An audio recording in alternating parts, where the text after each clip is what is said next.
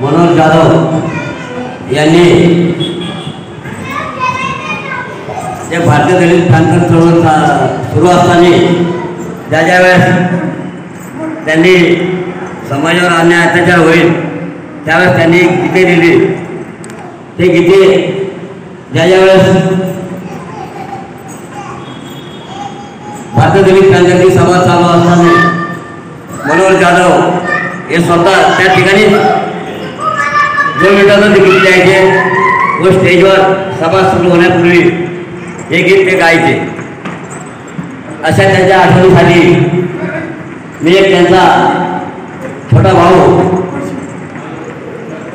म्हणून मला भारतीय दलित ज्यावेळेस मी प्रवेश केला भारतीय दलित कॅन्सरची शाखा निर्माण केली रमाबाई कॉलनीमध्ये.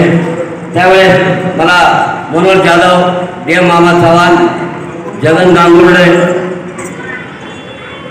बापू सुर्वे या लोकांनी जी मदत केली. मी कधीही विसरू शकत नाही. त्यामध्ये मनोहर जाधव यांचा सिंहाचा वाटा होता. तर त्याचे एक गीत सगळ्यांच्या स्मरणात राहावे म्हणून मी आजचा कार्यक्रम या आयोजित केला. सगळ्यात प्रथम मध्ये येण्याच्या अगोदर ज्यावेळेस मनोहर जाधवने एक गीत दिलं नसला जरी तू सुटण्या प्रत्येक पॅन्थरामध्ये भगवत दिशत्वा परंतु मला असं जाणू लागलं जाधव साहेब गेल्यानंतर. जे आपण गीत दिलं होतं हे गीत तुमच्यावर देखील लागू होतं. नसला जरी आज मनोहरा दिशेत होणार.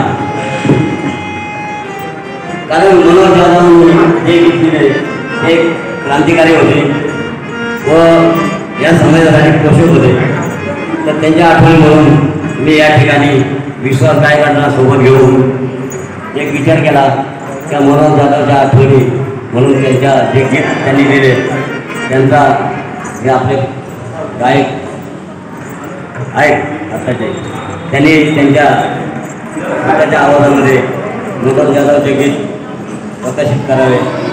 हा माझा एक हेतू. मी मी इथेच थांबतो आणि या सभागृहाचे अध्यक्ष जयेश मराठी नामदेव बाळे यांनी दोन शब्द बोलावे यांनी आपण आपल्या या गीताच्या कार्यक्रमाला सुरुवात करू